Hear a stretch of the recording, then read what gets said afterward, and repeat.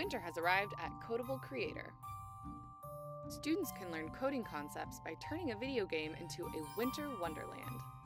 Kodable Creator can be accessed on the web and it's free. When students log in, they'll immediately be prompted to start the Winter Spectacular event. They can also find it on the Events tab on the left. Before you create your winter theme game, let's learn how to play first. Catbot, the AI tutor, will be there to guide students every step of the way, teaching them how the game works and how to add and edit the code for their video game.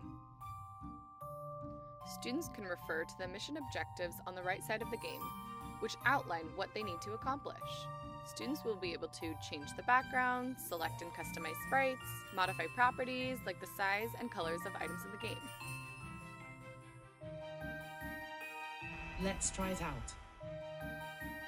At the end of the course, students can test their game and continue enhancing it by adding and editing code to make it uniquely theirs. They can also explore the object library to add characters, items, obstacles, and more.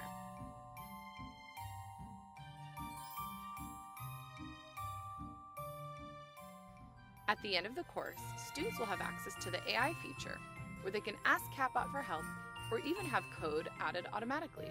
Catbot will respond in the language that the student asks the question in. Happy coding!